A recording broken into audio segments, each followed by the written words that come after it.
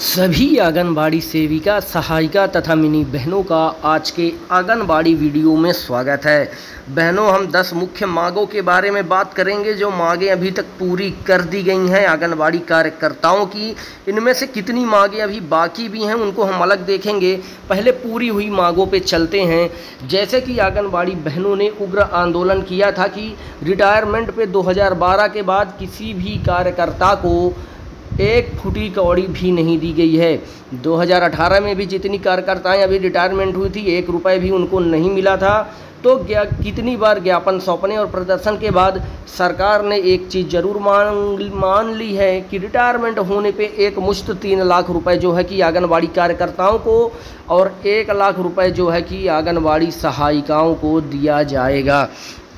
जी हाँ यह बात चल रही है ख़ास तौर से मध्य प्रदेश की, जहाँ पे एक मुफ़्त तीन लाख रुपए जो है कि रिटायरमेंट होने पे सरकार ने वादा किया है, कोई गारंटी नहीं, क्योंकि अभी तक कार्यकर्ताएँ रिटायर नहीं हुई हैं। 2018 के बाद तो जब भी कार्यकर्ताएँ अगर रिटायरमेंट होती हैं, तभी पता चलेगा कि क्या उनको कोई भी सेवा या मदद सरकार की तरफ़ से दी जाएगी या फिर नहीं। दूसरा जो यहाँ पे है कि स्वास्थ्य एवं दुर्घटना बीमा के तहत एक मुफ़्त पाँच लाख रुपए प्रति परिवार को लाभ मिलेगा।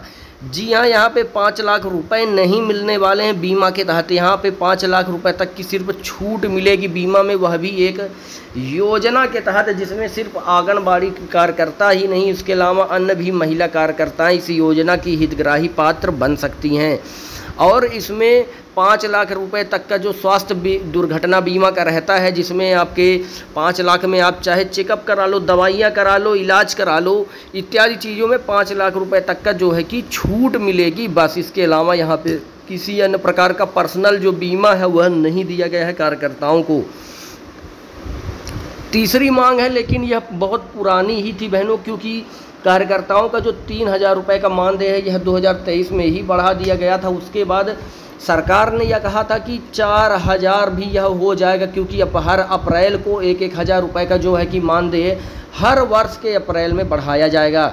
लेकिन बावजूद इसके भी आज अप्रैल के बाद मई और जून भी गुजरने वाला है, लेकिन जो भी मानदेय आया है, उसमें बढ़ा हुआ मानदेय कहीं पे नज़र नहीं आता।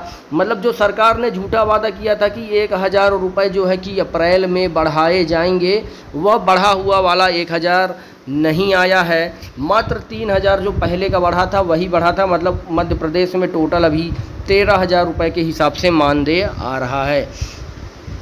कार्यकर्ताओं के रिटायरमेंट की उम्र को बढ़ा के बासठ वर्ष से पैंसठ वर्ष कर दिया गया। जी हाँ बहनों, ये बात बिल्कुल सही है।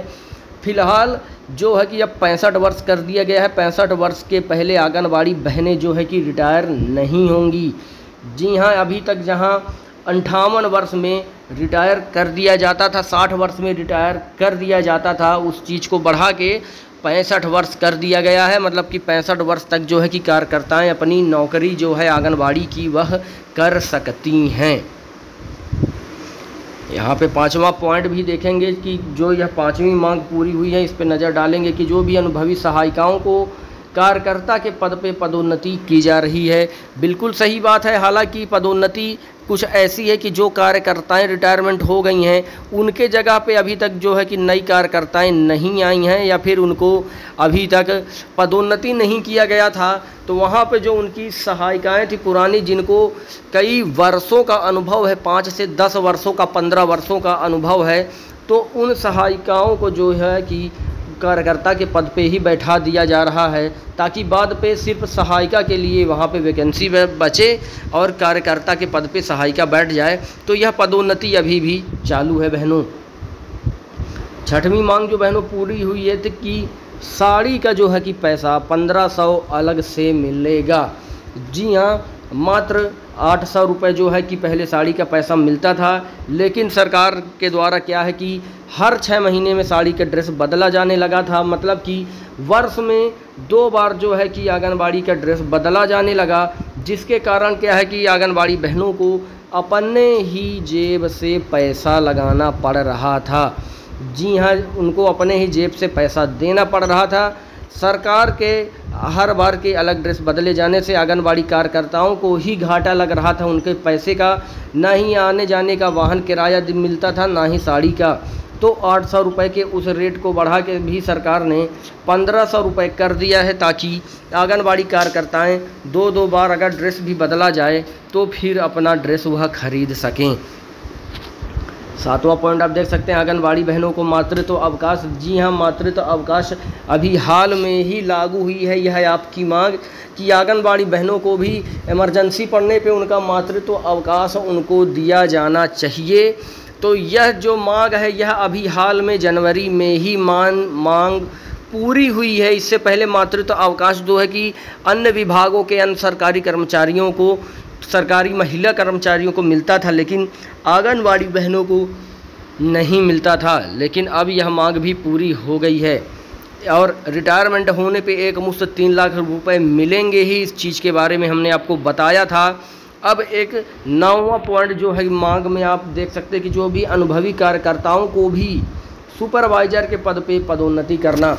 जी हाँ यह हालाँकि हर राज्य में नहीं लागू है या सिर्फ़ राज्यों राज्यों के कई ज़िलों में बस लागू है, जहाँ पे अनुभवी कार्यकर्ताओं सुपरवाइज़र के रिटायरमेंट होने पे वहाँ पे वैकेंसी न निकलने के कारण वहाँ की जो अनुभवी कार्यकर्ताएँ थी, जिनको 10 से 15 वर्ष और 15 से 20 वर्ष तक का अनुभव था, उतने में भी आगे उनकी परीक्षा हुई और फिर परीक्षा के बाद उनके मेरिट लिस्ट के आधार पे ही और उनके अनुभव के आधार पे ही उनको रखा गया है। ना कि कितने वर्षों का अनुभव है इसके आधार पे। तो यह भी कई ज़िलों में शुरू हो चुका है कि कार्यकर्ताओं को सुपरवाइजर के पे पदोन्नति किया जा रहा है। लेकिन जब तक यह जल्द से जल्द सभी राज्यों में, सभी ज़िलों में लागू नहीं होता, तब तक आंगनबाड़ी बहनों को कोई भी फ़ायदा नहीं मिलने वाला। कई ऐसी भी मांगें बहनें, उनको हम हाईलाइट में देख लेते हैं, जो मांगें अभी तक पूरी नहीं हुई हैं बहनों की। जैसे कि सरकारी कर्मचारी का दर्जा देना की मांग अभी तक नहीं पूरी हुई है, पता नहीं आगे कब होगी। इसके अलावा आंगनबाड़ी बहनों का जो मानदेय है, समान करना, मिनी कार्यकर्ताओं का भी मानदेय समान करना, पच्चीस हज़ार रुपये का मानदेय की जो मांग है, यह भी अभी पूरी नहीं हुई है। इसको भी अभी पूरा होना बहनों बाकी है।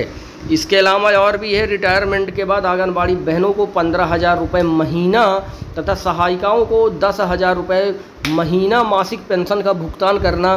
तो हम बता दें, जब तक सरकारी कर्मचारी का दर्जा नहीं मिलेगा, तब तक आपको पेंशन नहीं मिलेगी। फिर चाहे पेंशन की मांग पंद्रह हज़ार महीना हो या फिर सहायिकाओं के पेंशन की मांग दस हज़ार रुपये महीना हो। और इसके अलावा अभी तक रिटायर हुए सभी आंगनबाड़ी कार्यकर्ताओं को ग्रेचुटी का पेंशन देना, जैसा कि हमने ऊपर बताया था कि 2018 के बाद जितनी कार्यकर्ताएँ रिटायरमेंट हुई हैं, उनमें से किसी को भी फुटी कौड़ी एक रुपये नहीं दिया गया है। तो यहाँ वह भी मांग चल रही है कि अभी तक जितनी भी कार्यकर्ता बहनें रिटायर हुई हैं, उन सभी को उनका ग्रेचुटी का पैसा देना, जिनमें उनका हक है और पेंशन देना भी जुड़ा हुआ है। आईसीडीएस का किसी भी स्तर पर निजीकरण न करना भी मुख्य मांगों में है आंगनबाड़ी बहनों के, ताकि उनके विभाग में किसी दूसरे विभाग वालों का हस्तक्षेप न हो। तो बहनों, यह थी कुछ आपकी मांगें, जो पूरी हुई, कुछ ऐसी मांगें जो अभी तक आपकी पूरी नहीं हुई हैं। वीडियो पसंद आया हो तो वीडियो को लाइक ज़रूर कीजिएगा बहनों। कमेंट करके आप अपने सवाल भी पूछ सकती हैं, जो भी आपको पूछना हो। वीडियो को ज़्यादा से ज़्यादा WhatsApp group anganwadi group WhatsApp status में शेयर कर दीजिएगा और चैनल से जुड़े रहने के लिए बहनों चैनल को सब्सक्राइब भी कर लें। इसी के साथ हम मिलेंगे बहनों अगली मुख्य आंगनबाड़ी वीडियोज़ में। तब तक के लिए नमस्कार।